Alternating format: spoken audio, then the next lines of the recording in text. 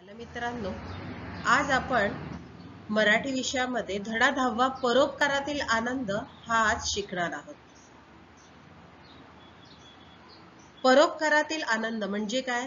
दुसऱ्याला केलेली मदत आणि त्यातून मिळणारा आनंद. काय असतो? तो आपण या धड्यातून जाणून घेऊया. चला तर मग करूया सुरुवात.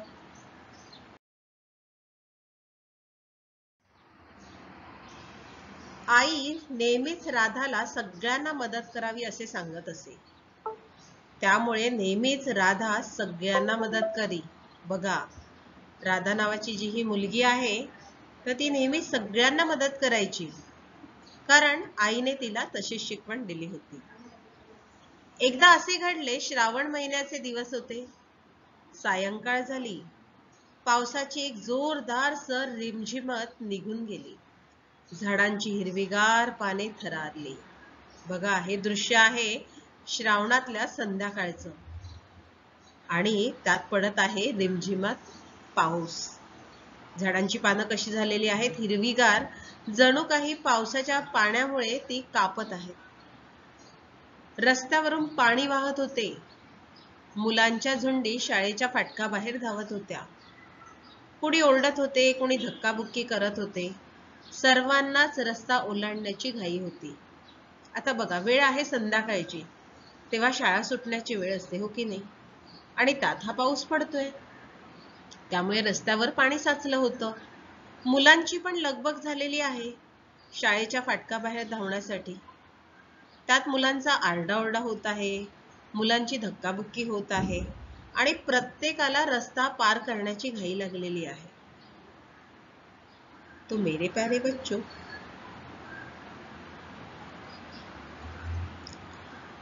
माँ ने हमेशा राधा को सभी की मदद करने की सीख दी है। इसलिए राधा हमेशा सभी की मदद करती थी। एक बार ऐसा हुआ, श्रावण मास का दिन था, शाम हो गई थी। बारिश का बारिश का भारी तना गुजर पड़ा। पेड़ों की पत्तियाँ कांपने लगी। सड़क पे पानी बहने लगा। स्कूल के गेट के बाहर बच्चे झुंड में दौड़ रहे थे। कोई चिल्ला रहा था, कोई धक्का दे रहा था। हर कोई सड़क पार करने की कोशिश में था।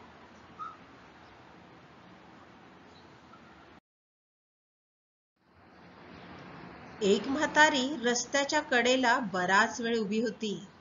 आता बघा इथे मुलांची शाळेतल्या गडबड झालेली आहे रस्ता. ओलांडण्यासाठी तसंच एक म्हातारी आजी दिसत आहे रस्त्याच्या कडेला बराच वेळ उभी असलेली.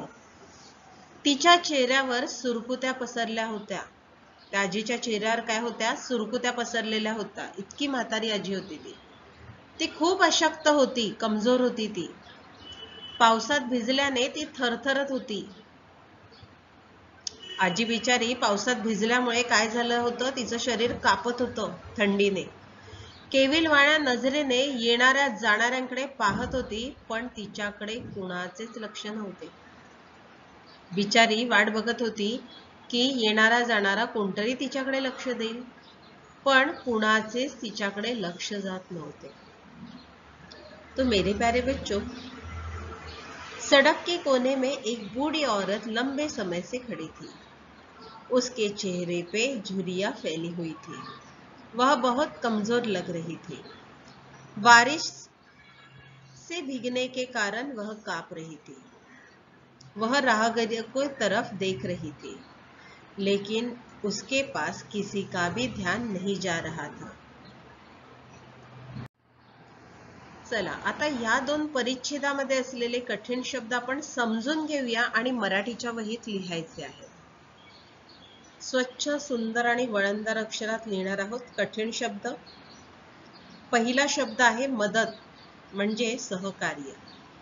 इंग्रजीमध्ये आपण म्हणतो हेल्प दुसरा शब्द आहे सायंकाळ म्हणजे संध्याकाळ इव्हनिंग तिसरा शब्द आहे रस्ता मार्ग रोड. चौथा शब्द आहे अशक्त म्हणजे कमजोर वीक आणि पाचवा शब्द आहे पान पर्ण लिफ.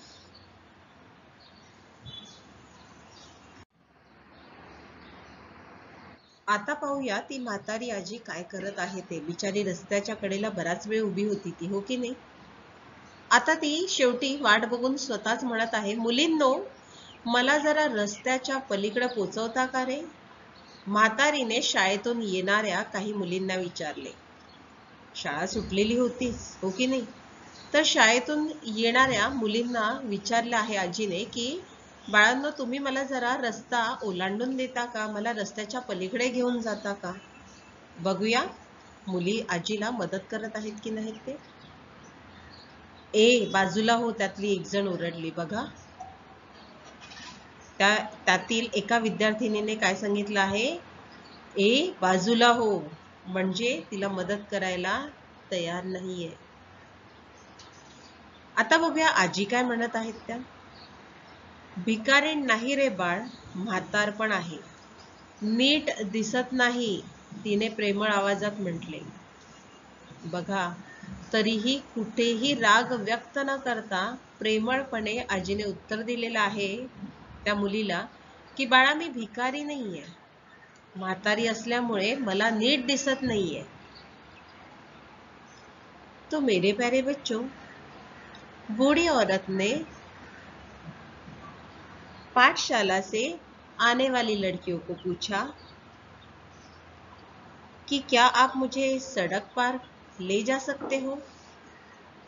चलो हटो, उनमें से एक जन ने कहा। बूढ़ी औरत ने बड़ी प्यार भरी आवाज़ में उसे जवाब दिया कि बेटा, मैं भिकारन नहीं हूँ। बुढ़ापा है, ठीक से दिखाई नहीं देता है। मग चष्मा लावायचा. तिसरीने तिची टिंगल केली. बघा आजीला त्या विद्यार्थिनी मदत करण्याची जराही तयारी दाखवत नाही आहेत. शिवाय त्या आजीची मस्करी करत आहेत की आजी तुम्हाला दिसत नाही तर चष्मा लावायचा. त्यावर सगळे फिदी फिदी हसले. त्या मैत्रिणी फिदी फिदी हसायला लागल्या. अशी त्यांच्यातल्याच एका विद्यार्थिनीने आजीचे टिंगल केल्यानंतर. बिचारी म्हातारी एकटीच रस्ता ओलांडण्यासाठी वळली. आता आजींना कळून चुकलेलं आहे की आपल्याला रस्ता एकट्यालाच ओलांडावा लागेल. म्हणून आजी रस्ता ओलांडण्यासाठी वळल्या. एवढ्यात एक मोटारसायकल सुसाट वेगाने रस्त्यावरून गेली. तितक्यात काय झालं? एक भरधाव वेगाने मोटारसायकल रस्त्यावरून वेगाने जात होती. रस्त्यावरील चिखलाचे शिंतोडे म्हातारीच्या अंगावर उडले. काही डोळ्यात गेले. पाव पावसाचे दिवस होते. त्यामुळे अर्थात रस्त्यावरती पावसाचं पाणी साठून चिखल झाला होता. मोटारसायकल सुसाट वेगा वेगाने रस्त्यावरून गेल्यामुळे काय झालं? रस्त्यावर असलेल्या चिखलाचे शिंतोडे त्या म्हातारी आजीच्या अंगावरती उडाले. तसेच काही डोळ्यात देखील गेले. ती खाली कोसळणार तोच कुणीतरी तिला आपल्या हातांनी आधार दिला. बिचारी आजी अशक्त देखील होती दिसत देखील नव्हतं. आणि तिच्या डोळ्यात हे चिखलाचे शिंतोडे गेल्यावरती ती आजी खाली कोसळणारच होती तितक्यात तिला कोणीतरी हातांनी आधार दिलेला आहे आणि त्या आजीला सावरलेलं आहे. कोण आहेस तू? आधार देणाऱ्या मुलीला म्हातारीने विचारले. आजीने पटकन आवाज़ दिला की, अगं आहेस तू? राधा. आवाज़ आला, राधा. तो चश्मा लगाते ऐसे तीसरी छात्रा ने वह बूढ़ी औरत को छेड़ा। सभी सहेलियाँ उसकी हंस पड़ी। बिचारी बुढ़िया अकेली सड़क पार करने के लिए मुड़ी। इस दौरान एक मोटरसाइकिल सड़क से छिटक गई। सड़क पर कीचड़, सड़क पर कीचड़ था और उसके छींटे वह बूढ़ी औरत के शरीर पे उड़ गए। कुछ उसकी आँखों में चले गए। वह बूढ़ी औरत नीचे गिरने ही वाली थी कि उतने में ही किसी ने अपने हाथों का आधार उसे दे दिया। बूढ़ी औरत ने सहायता देने वाली लड़की से पूछा तुम कौन हो? और वहां से जवाब आया राधा. आता आपण हे कठीण शब्द लिहिणार आहोत मराठीच्या वहीमध्ये. टिंगल मस्करी प्रँक. आधार सहायता सपोर्ट.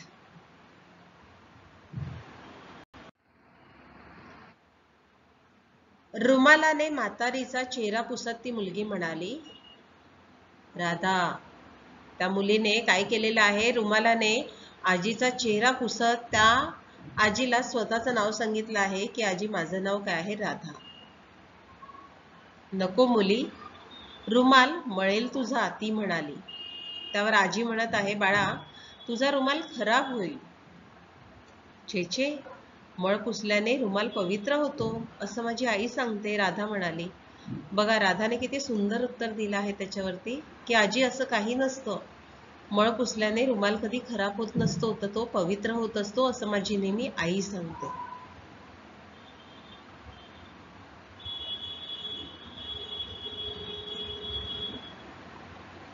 लड़की ने रुमाल से बुढ़िया का चेहरा पोछा और कहा कि मेरा नाम राधा है। बूढ़ी औरत ने कहा, राधा को कि राधा, तुम्हारा रुमाल मैला हो जाएगा। यह सुनते ही राधा ने अच्छा जवाब दिया, मेरी माँ कहती है कि मल को पोछने से रुमाल शुद्ध हो जाता है। तुझी आई भाग्यवान आहे। तिला तुझ्यासारखी गुणी मुलगी मिळाली. आजी म्हणत आहे हे उत्तर ऐकल्यानंतर राधाच्या तोंडून की बाळा तुझी आई खूप भाग्यवान आहे ग कारण तुझ्यासारखी गुणी मुलगी तिला मिळालेली आहे.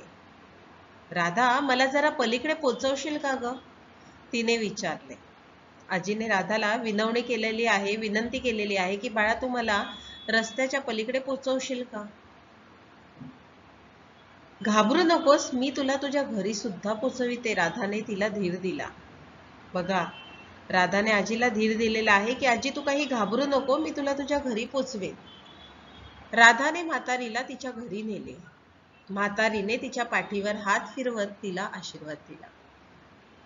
राधाने काय केलेलं आहे? आजीला स्वतःच्या आजीच्या घरी सोडलेलं आहे.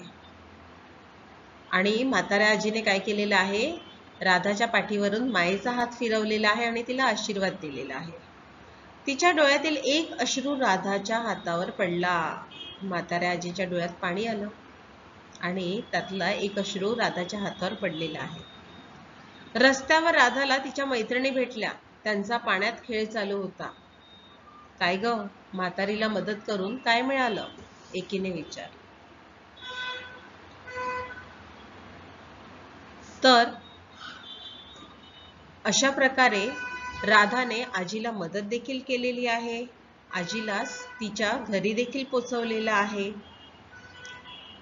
आणि आता परत येत असताना रा राधाला कोण भेटलेला आहे? स्वतःच्या मैत्रिणी.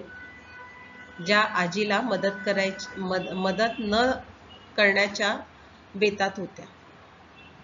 तर त्या मैत्रिणींनी राधाला आता हटकलेलं आहे रस्त्यातच की तुला त्या म्हातारीला मदत करून नक्की काय मिळालं?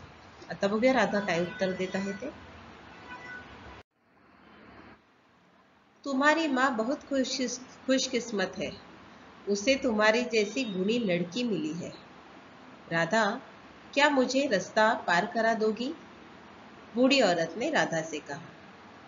डरो मत, मैं तुम्हें तुम्हारे घर ले जाऊँगी, राधा ने उसे कहा।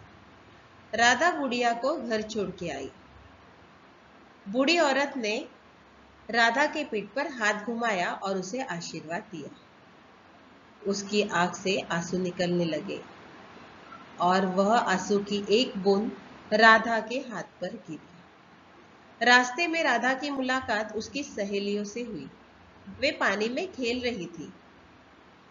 बुढ़िया की मदद करके तुम्हें क्या मिला? एक ने राधा को पूछा। मी मदत का केली? ठाऊक आहे? आता बघा राधा त्या मैत्रिणींना सांगते की मी त्या आजीला मदत का केली? काही वर्षांनी मी मोठी होईन माझी आई तेव्हा म्हातारी होईल. कदाचित मी तिच्या जवळ नसेन तेव्हा कुणीतरी तिला मदत करावी असं मला वाटतं. त्या म्हातारीत मला माझी आईच दिसली म्हणून मी तिला मदत केली. आता राधाचं हे बोलणं ऐकून तिच्या मैत्रिणींना लाज वाटली. त्यांनी माना खाली घातल्या. राधाने किती सुंदर उत्तर दिलं ना मैत्रिणींना? राधा घरी आली आई तुळशी वृंदावनासमोर दिवा लावत होती. हात पाय धुवून ती आईजवळ आली. आईला तिने रस्त्यावर घडलेला सगळा प्रसंग सांगितला. आणि ते ऐकून आईला अतिशय आनंद झालेला आहे. आईने तिची पाठ थोपटली माझी गुणी पोर म्हणून मिठी मारली. राधाने मैत्रिणींना रस्त्यात चांगलंच उत्तर दिलेलं आहे की त्या म्हाताऱ्या आजीत मी स्वतःच्या आईला पाहिलं कारण कधीतरी माझी आई पण म्हातारी होईल. आणि त्यावेळी कदाचित मदत करायला मी तिच्या जवळ नसेल पण कुणीतरी माझ्या आईला मदत करेल. आणि त्या म्हाताऱ्या आजीत मी माझ्या आईलाच बघून मी तिला मदत केली. असं मैत्रिणींना सांगितल्यावरती मैत्रिणींना लाज वाटायला लागली. राधा स्वतःच्या घरी परत आली. आई तुळशी वृंदावनासमोर दिवा लावत होती तेव्हा हातपाय धुवून राधा आईजवळ आली. आणि राधाने काय केलं? रस्त्यात घडलेला सगळा प्रसंग सांगितला. ते ऐकून आईला आनंद झालेला आहे आणि आईने शाबासकी दिलेली आहे राधाला आणि गुणी पोर असं म्हणून राधाला मिठी मिठीत घेतलेला आहे मिठी मारलेली आहे. तो मेरे प्यारे बच्चों राधा ने अपनी सहेलियों को अच्छी तरह से जवाब दिया. उसने कहा, क्या आप जानते हो कि मैंने उस बूढ़ी औरत की मदद क्यों की? क्योंकि कुछ वर्षों में मैं मैं बड़ी हो जाऊँगी। मेरी माँ तब बूढ़ी हो जाएगी। शायद मैं उसके साथ नहीं रहूँगी। इसलिए मुझे लगता है कि उसको किसी ने मदद करनी चाहिए। मैंने बूढ़ी औरत की मदद की क्योंकि मैंने अपनी माँ को उसमें देखा।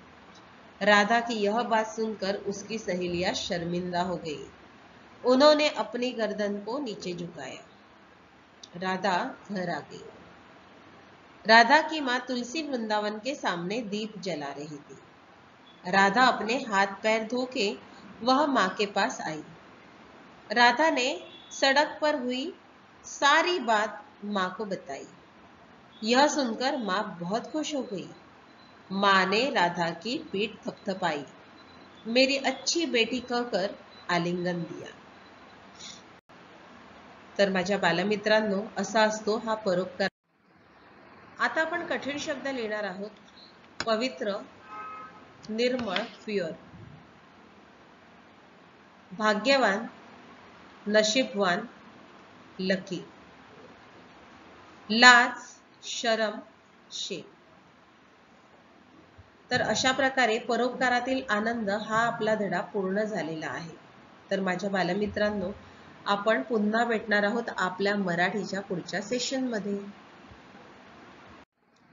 तोपर्यंत धन्यवाद.